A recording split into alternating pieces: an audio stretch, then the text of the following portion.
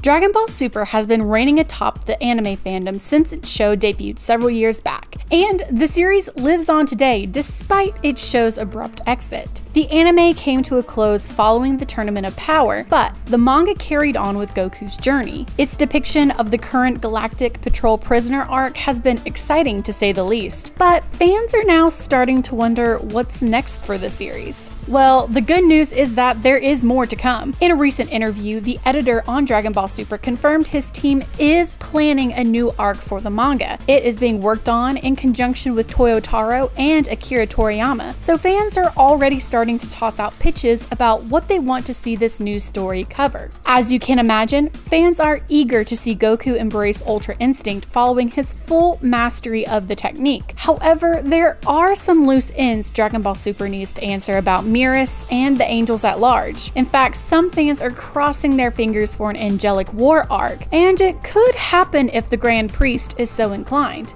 Other arc pitches include a Universe 6 tournament and Vegeta training arc. The latter has been highly requested following the Saiyan's mastery of Spirit Fission. The move did not exactly help him fight Moro the first time around, but if Vegeta continues his training, he could find a new way to challenge Goku. And if the pair were to then visit Universe 6 afterwards, well, fans are certain Goku and Vegeta would have an excellent fight on planet Sadala, the motherland of that universe's Saiyan race. So, what would you like to see from this next arc of Dragon Ball Super? What should come next? Hit me up over on Twitter at Megan Peters CB to let me know.